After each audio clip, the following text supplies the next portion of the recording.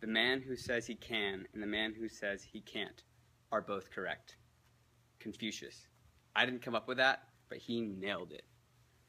When you say that you can't do something, you are literally communicating to the world that you are not physically capable of doing that thing. So let's say you want to travel, or maybe you want to do a personal development se- seminar, or there, you just have a certain goal, but you're telling yourself you can't do it. I, I just don't have the time, I don't have the money, I don't have the resources. You're never going to do it if you use the, keep using the word can't. But what if you use the word won't? I won't travel. I won't do that seminar. I won't have enough money. You're taking responsibility. You're, you're not saying you aren't capable of it. You're just saying, I choose not to do that. And when you use the word won't, then you're going to question yourself. Go, huh, why can't I travel? Well, maybe it's a lot of money or I don't have time, but what if I can find money in different resources and find the time and create that time?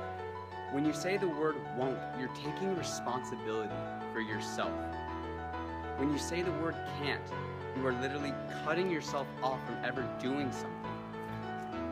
The man who says he can and the man who says he can't